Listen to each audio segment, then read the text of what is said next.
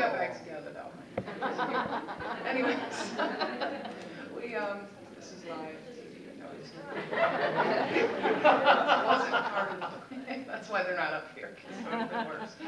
No, so we did, we broke up and he came back and proposed and I, the first thing I said, I didn't say yes or no, I said, what about kids? I was making the space then, he said, kids would be okay.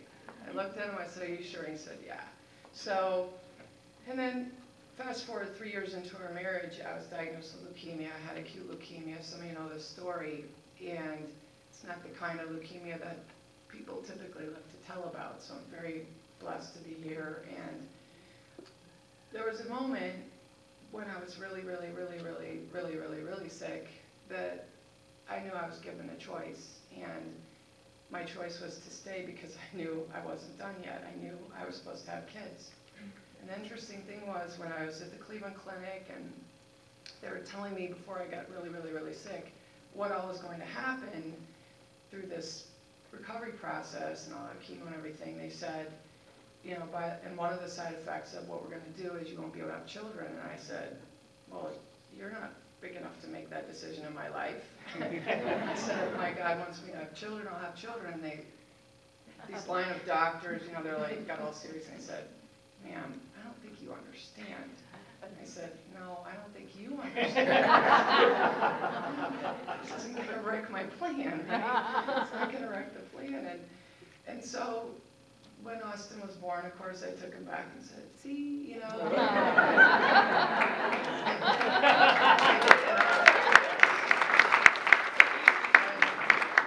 When Madison was born, I took them both, I said, twice as wrong, so, you know, and then, I mean, I, I say that, and, I mean, I'm, these are real things that I've experienced in my life, and I realize I really have made the space, and I, I really think that's such an important concept, because I didn't get it when it was first presented.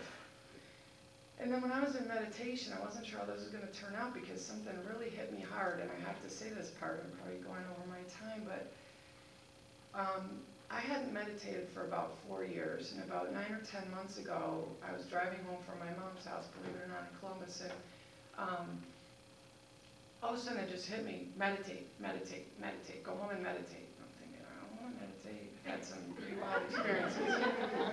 And um, so I went home and I meditated. In the meditation, it said, I heard, call Dana Cummings. I'm like, who the heck is Dana Cummings? I really wasn't sure who that was. And then I remembered being at Cindy and Joe's one time, and they mentioned him.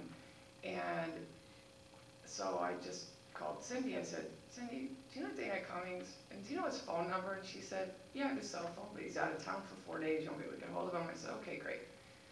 I probably told her I heard it in meditation. I was supposed to call him, and she, she, she knows me a while, so she didn't like roll her eyes or anything. So I hung up the phone. I dialed Dana's number, and he actually picked up the phone. And I said, hi, Dana. This is Kim Vitello. I don't know if you know me, but I think I heard you speak 10 years ago at, you know, somewhere. And by the way, will you have coffee, tea, or water with me? I heard in a meditation I'm supposed to meet with you. And he goes, well, how could I turn down coffee, tea, or water?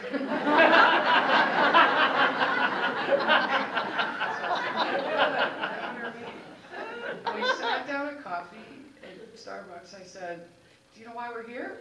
he said, no. I said, I don't either, but when you figure it out, will you let me know? I just knew we were supposed to meet, and it came in meditation day. I know exactly why we met. I know exactly what this was all about. And it's actually about all of you. And it's about our children.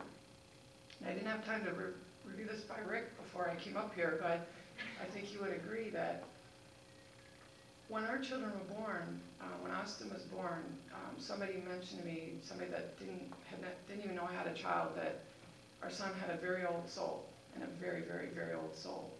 And if you ever talk to Austin, you realize he's a magnificently wise young man young boy. He's still a boy, but he's got something magnificent inside of him. Madison is our woman of grace, our daughter of grace, our child of grace. They're all children, but they have a divine purpose. And Cassidy's middle name is Joy, and she was named that before she was born because she is the epitome, the epitome of joy. And what came to me in the meditation today was, we are in a really magnificent place here, magnificent. And our children need you to reach out to them. They need your divine mother and father inside of you and guide, guide, spirit guide, love. If you are moved to reach out to one of our children, I invite you to, because I don't think it's an accident. That's why we're here.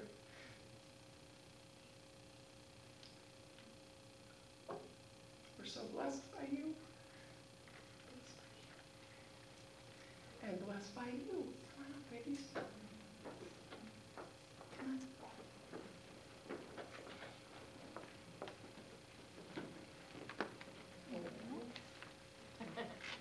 And I, I believe that, um,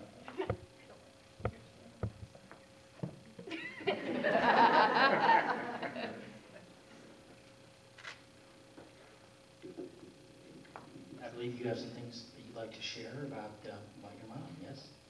Would you like to go ladies first or gentlemen first? Ladies first. She's awesome. She's nice. She's the best. She's loving too.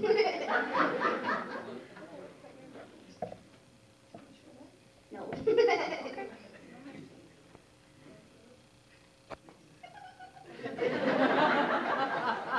I love my mom.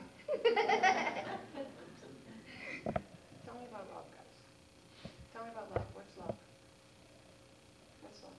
Love is happiness.